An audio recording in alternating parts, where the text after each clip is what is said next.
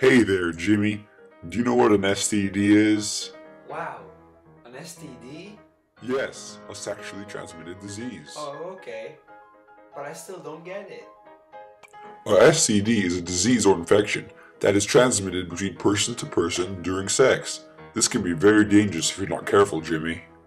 Well, what can I do to avoid an STD? One of the easiest ways to avoid an STD, like LGV, is to use protection. Also, be aware if you or your partner has an STD. Thanks, mysterious voice in the sky. Bye.